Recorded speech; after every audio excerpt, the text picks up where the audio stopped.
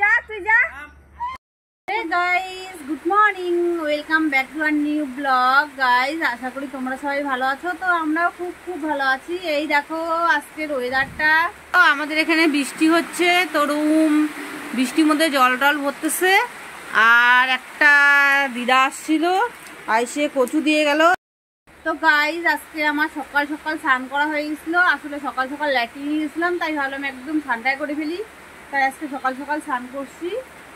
আর আমার সকালের খাওয়া দাওয়া হয়ে গেছে, তো রুম এখন সকালবেলা মানে রুমের খাওয়া দাওয়া হয় নাই, তো রুম খাওয়া দাওয়া এখন করবে। তো যাই হোক গাইজ আমরা কাজ করতে থাকি, তোমরা সম্পূর্ণ ব্লগটা দেখতে থাকো। এই দেখো আমার বুদ্ধি, আমি একদম গোটা গোটা কচু একদম ভালো করে হাত দিয়ে ধুয়ে নিই। এই দেখো, এগুলা জেঠির, এখানে রাখা হয়েছে। আর এখানে হচ্ছে আমার আর রুমের আমি তোমাদেরকে একদম ভালো বুদ্ধি দিলাম। তোমরা যারা যারা কচু খেতে খুব পছন্দ করো, কিন্তু কচু চুলকাবে জন্য ধরো, হাত দিয়ে ধরো না, তারা কী করবা বলো তো? ছোলা কচুই হোক বা কালো কচুই হোক, কচুটাকে কাটবাই না। একদম হাতের মধ্যে যারা একটু বেশি চুলকানি, ধরো ইসে আছে প্রবলেম আছে, তারা হাতের মধ্যে একটু সর্ষের তেল মেখে নেবে। নেওয়ার পরে কচুগুলোকে একদমই গোটা গোটাই ধোবে। ধোয়ার পরে তারপরে ধোয়ার পরে কাটিয়ে নেবা। বাস দেখবে একদমই চুলকাবে না। দেখো আমি এইভাবেই কাটি। কারণ কচু খাইতে ইচ্ছা করে। এইবার চুলকায় জন্য কি বলব আর? খাওয়া হয় না তো আমি এখন এই জন্য গোটা গোটাই ধুই। দেখো গাইস একটু আগে জ্ঞান দিল হাত চুলকায় না। আর এখন হাত চুলকাচ্ছে কীভাবে? একটুখানি চুলকাচ্ছে এটা তো চুলকাবেই। কারণ কচুর ভিতরে জলগুলো আছে ওগুলো বের হচ্ছিল তাই চুলকাইছে। আমি লবণ দিয়ে হাতটা তুলতেছি ওই যে কচুর যে মানে কষগুলো রাখছিল না লাল লাল হয়ে গেছে তো ওগুলো উঠাচ্ছি। আর রুমের তো হচ্ছে বেশি ঢং। পাগল পাগল লাগতেছে জানিস? লাগুক স্নান করে উঠছি মাথা মুঠো আশ্রয় নেই পাগল তো লাগবেই। সবসময় কি মোবাইলের সামনে সাজিয়ে গুজিয়ে বসে থাকব নাকি? আমি তো সাজি না। ব্লগাররা তো একদম। সাজে গুজিয়ে বসে থাকে। আমি থাকি না। প্রত্যেকটা ব্লগার সাজে গুজিয়ে বসে থাকে। আমি থাকি না আমি সাজিয়ে ন্যাচারাল আমি যেরকম সেরকম আমি পাগল পাগল। যেরকম সেরকম। বাড়িতে কাজকর্ম করব সাজিয়ে বুঝে যখন কোথাও ঘুরতে যাব তখন করব।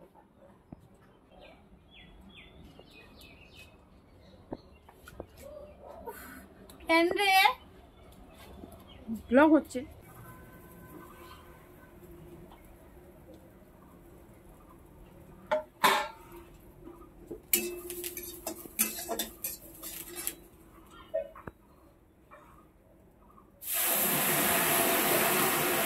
পাচ্ছিস? যার সম্বন্ধে তো বেশ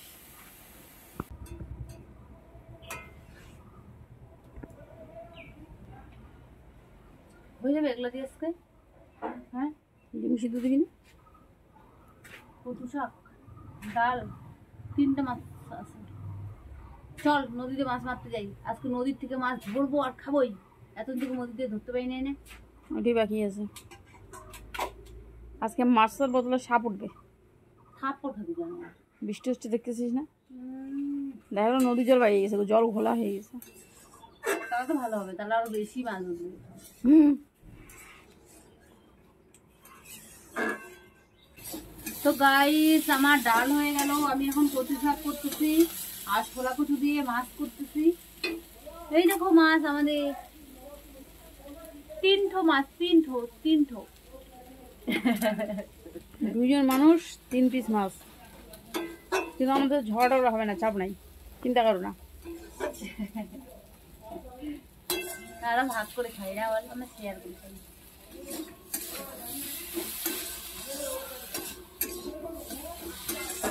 আমরা আজকে নদীতে মাছ ধরতে যাব। আজকে মাছ নিয়েই আসব দেখো।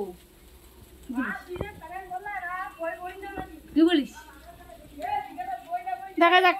তো তো বড় বড় ডায়লগ মাছ একটা তো মাছ পাইস না।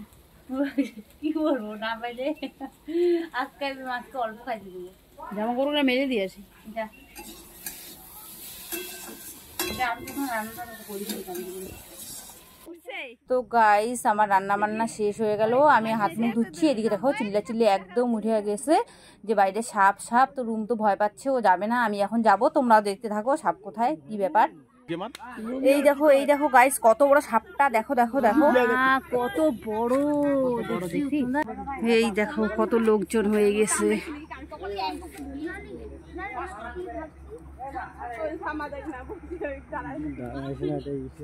কি এটা? কি এটা? কি হয়েছে? কি এত লোক কেন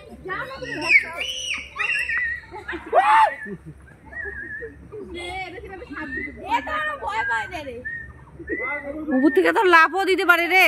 নিচে দাঁড়ায় আছে। উপরে সাপ নিচে লায় হ্যাঁ মা মাছ ঝাঁকে দিচ্ছে। হ্যাঁ কি রে। কেমন পাগল? মদ খাইছে নাকি লোকটা? বাস ঝাঁকি দিতে যাচ্ছে।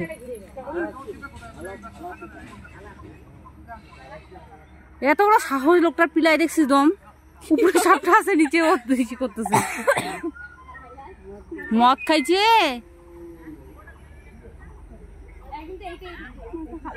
কি সাপের উৎপাত হয়েছে? এটা কি কালকেরটাই নাকি? আমি বুঝে পাচ্ছি না। কালোই তো এটা তো নিচটা সাদা এটা নিচেটা সাদা উপরটা তো কালোই। এটাই ছিল বোধহয় কালকে। লাড্ডু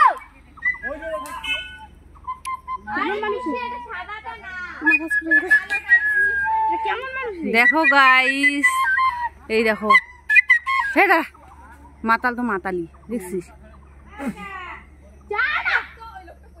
দেখছ সাপটাকে কি কি করছে মাতালটা?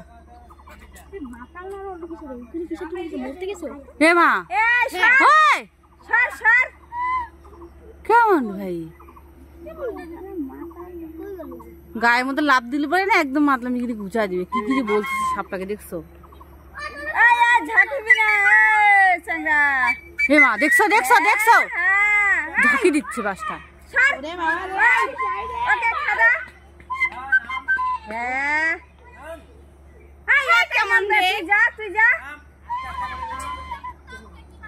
তো ও উপরে আছে তো ওর কি ও পরে একাই নামবে ও ক্ষতি করবে না ও একাই নামবে দেখছ কি পিলায় দম কাকিমা দেখো তোর জায়গায় কি যা।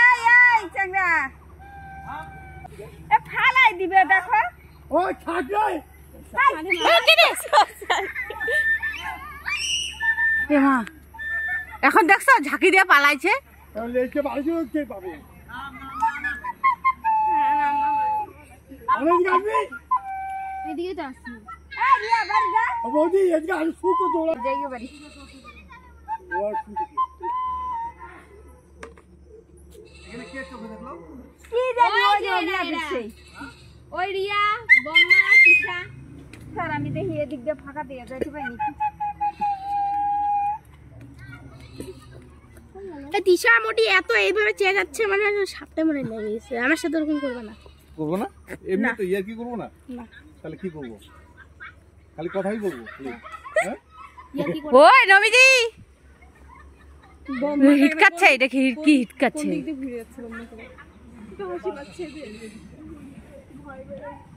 কত মোটা সাপটা। কি মোটা কি লম্বা এটা হচ্ছে জাতে মাতাল তালে ঠিক আছে। দেখছি ঝাঁকাইতে নিল পড়তে নিল আর তখন দৌড়াচ্ছে। আমি একটু দেখাচ্ছি।